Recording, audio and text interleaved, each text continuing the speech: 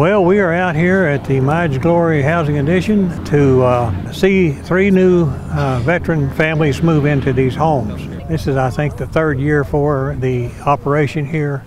There'll be 21 homes when they fi- finish. Seven uh, houses have been moved into, and we're moving in three today. Uh, Anthony Eden, Mita Nix, and Harold Bruner is the name of the of the veterans that are getting these homes. I just thank the Cherokee Nation for everything that they've done for me and my wife.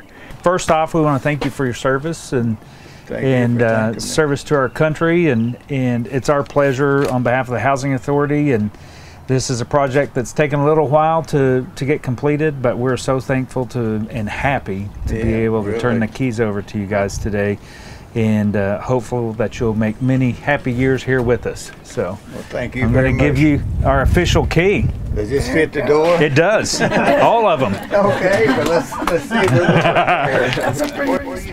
I just thank the Cherokee Nation for everything that they've done for me and my wife.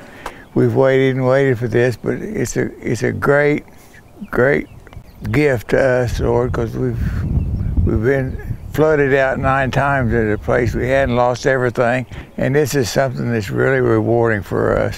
Oh gosh, I'm I'm just elated.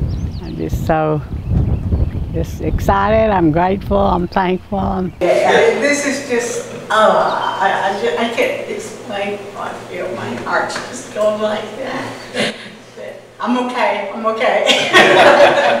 Thank you all so much. Thank you.